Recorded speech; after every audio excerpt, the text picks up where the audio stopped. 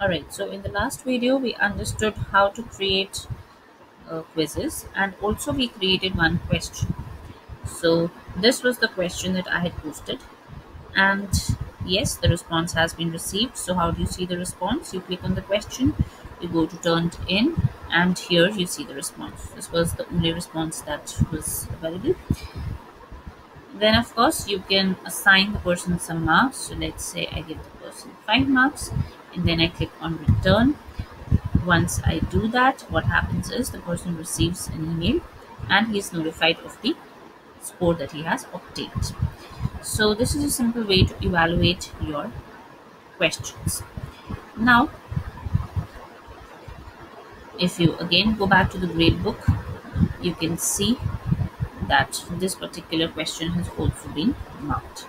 So this is how Google Classroom actually facilitates assignments, questions, quizzes, and you can do the entire assessment here with no difficulty. Now, I'm going to move on to one last thing and that is creating a rubrics.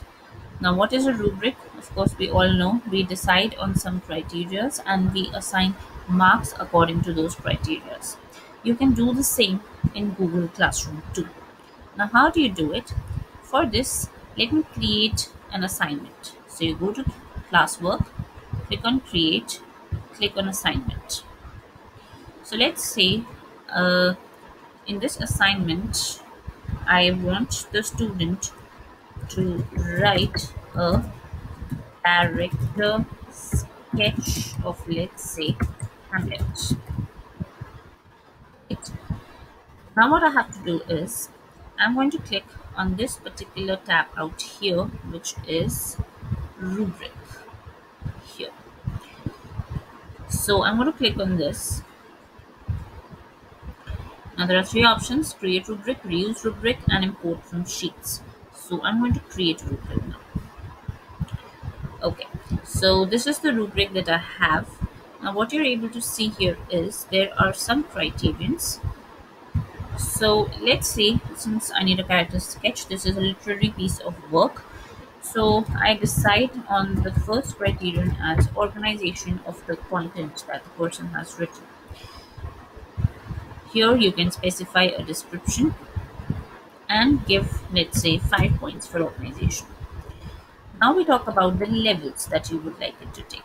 So let's say the first is exceptional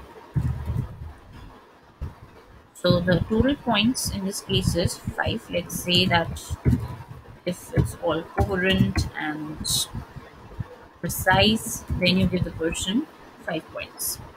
Now to add another level to it what you do is click on this.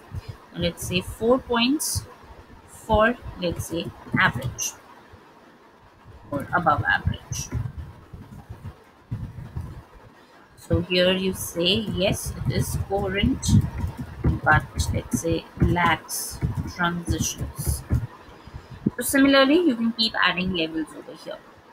Now, if you like to add a criteria, then you click on this. So you add a criteria over here. So maybe you can say vocabulary usage, so on and so forth.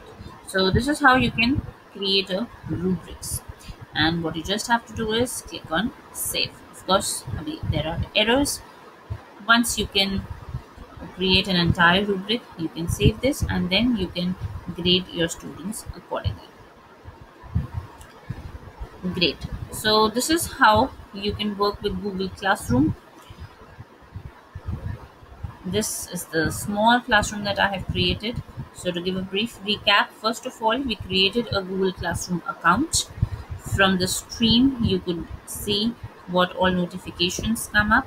Through classwork, you could add material like videos or presentations or documents, assignments, so on, quizzes, and through the People's tab, you can see the list of teachers and the students, and finally through grades, you could maintain a gradebook. So this is how Google Classroom works. I hope this helps and you are now able to function with your own Google Classrooms. Thanks a lot.